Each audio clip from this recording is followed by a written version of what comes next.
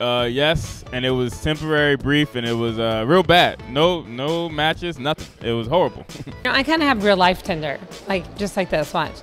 Hey, want to have sex? That's how it is. I've never used Tinder.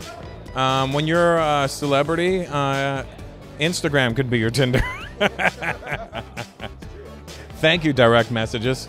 I haven't used Tinder. I wanted to kind of use it just to try, you know? Go outdoors and talk to a woman in person. Ever heard of it? Ever smelled about it? That app would sit on your aunt's couch and eat your nephew's Lunchables. Help people locate weed dealers all across the globe.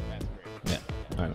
My Life as an app um, would automatically remind you to make another visit to Disneyland without letting too much time go in between. Well, it's the Pec Pop app. You know, I actually have an app. It's the Pec Pop. My life was an app. It is an app. What's happening? What's happening? What's happening to me? Why is this happening?